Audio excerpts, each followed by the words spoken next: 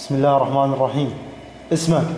خير الله جزاع شقير من منطقة الصانمين الكريم الشمالي وين تخدم؟ في اللواء 128 مشاة. مين قائد الدورة قائد الدورة الملازم الشبيح محمد من مدينة حمص. تم إلقاء القبض على العسكري المجند الشبيح خير الله شقير في منطقة درعا المحطة من قبل أفراد سرية فداي ودرعا 12 12 2012